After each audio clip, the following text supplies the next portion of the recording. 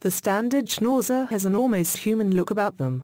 With their bushy eyebrows and beard, they look very much like an elderly gentleman. Classified in the working group, this is a medium-sized breed. Of three Schnauzer types, this is the medium-sized one, there is also a miniature and giant size. This is by far the more popular of the three. The origin of the standard Schnauzer is from Germany. Developed for herding purposes in the Middle Ages, by the peasant farmers for hundreds of years, this breed was very popular across Europe. In later years, the original breed was crossed with a German black standard poodle and the German pinscher, from where it inherited its regal appearance.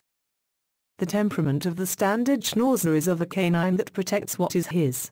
A strong-willed canine, with a mind of their own, they will require an experienced handler, and plenty of socializing, as this breed is particularly good with children, so it does make the ideal family companion.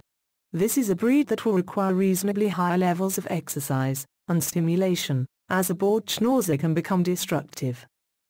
The lifespan of the standard schnauzer is generally upwards of 13 to 15 years.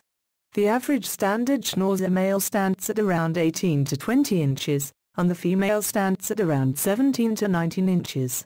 A healthy weight for the male would be between 30 to 45 pounds, and for the female would be between 30 to 40 pounds.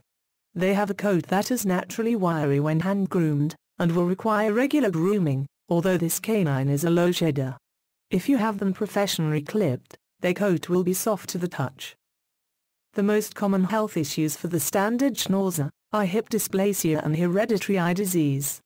Both of these conditions are slowly being eradicated from this breed, by testing the breeding stock.